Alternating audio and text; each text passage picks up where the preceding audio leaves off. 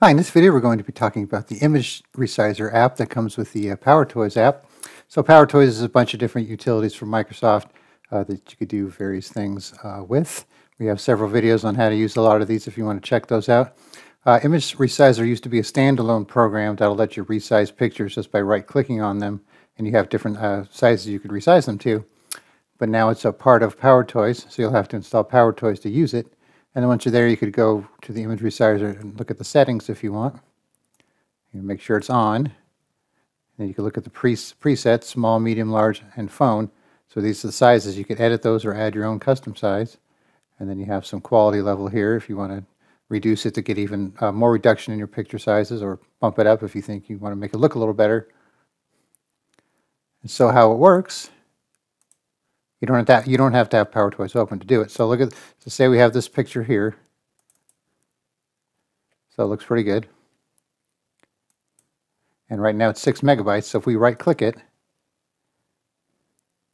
resize pictures.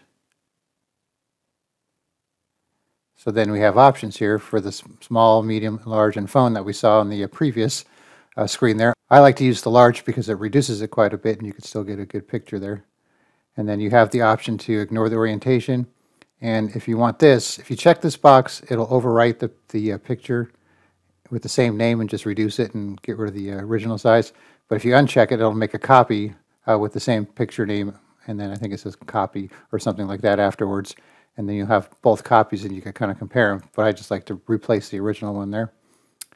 And then you have make picture smaller but not larger if you want to check that. So I'm going to pick the large. Okay, so we had 6.2 megabytes before. Click resize. Let me just like take a look at the picture one more time here.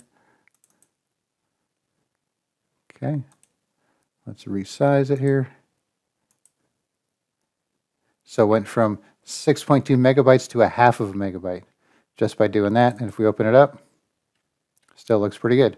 So obviously you're not going to use this if you're doing, you know, high quality prints or for graphics, but if you're just, you know, using it, keeping it for your photo album or if you're going to send it to other people, that makes it a lot easier because that way you could send more attachments in an email if they're a lot smaller.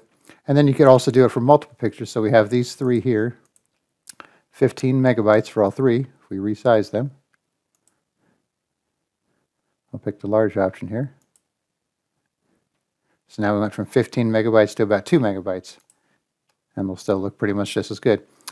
All right, so I'll put a link in the description for PowerToys, and then you could uh, go ahead and install that and play with some of the other tools. And then, like I said, once you install it, you'll automatically have this right-click option there. You don't have to do anything to configure it, as long as you don't turn it off in the uh, in the settings here. You'll be good to go. All right, thanks for watching, and be sure to subscribe.